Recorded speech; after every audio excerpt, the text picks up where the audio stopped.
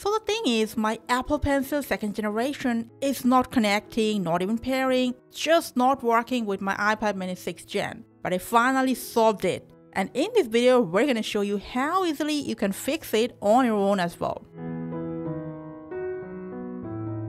Just remember, only a second generation Apple Pencil will work on your iPad mini 6th gen. Okay, let's go. If you're especially facing connection or pairing issue, first you have to make sure Bluetooth is on your iPad. Turn it on. If that's already on, what you can do is turn it off and then on again. Just refresh it.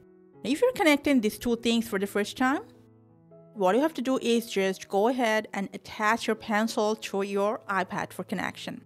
Press continue. And if the pencil is low on battery, it will show. And if needed, you can just go ahead charge your iPad as well. When it's properly connected, it will also show at your Bluetooth list.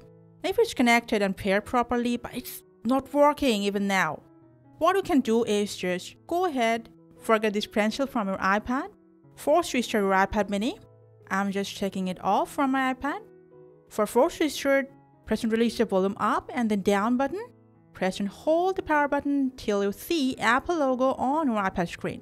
Now after the restart, just go ahead reconnect your Apple Pencil like we have shown you before. And that will work just fine now. Just in case, if still not working, go ahead check the tip of your Apple Pencil.